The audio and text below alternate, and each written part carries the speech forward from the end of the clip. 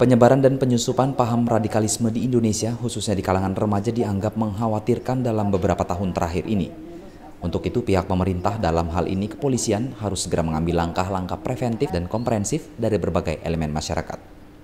Terkait dengan hal tersebut, Satbinmas Polresta Barelang melakukan penyuluhan anti radikal di kalangan pemuda, salah satunya di SMA Negeri 20, Batam.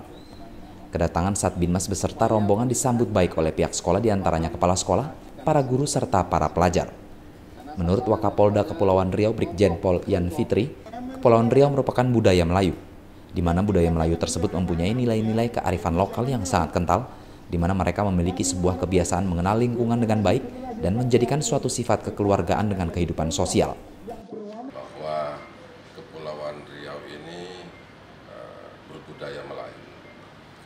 Budaya Melayu ini punya nilai-nilai kearifan lokal yang sangat kental kearifan lokalnya itu kekerabatan yang sangat kental di mana mereka memiliki sebuah kebiasaan mengenal lingkungan, mengenal lingkungan dengan baik, mengenal orang per orang dengan baik dan menjadikan suatu bentuk sifat kekeluargaan dalam kehidupan sosial.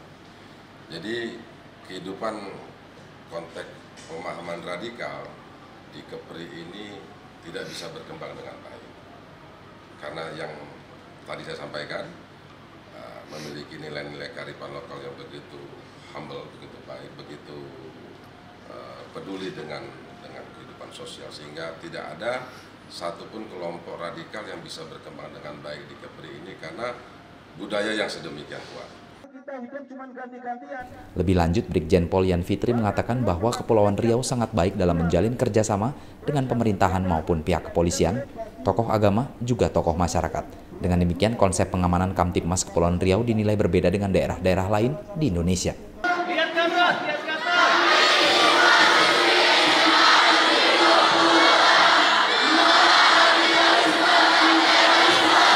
Dari Batam, Kepulauan Riau, tim liputan Tribrata TV, salam Tribrata.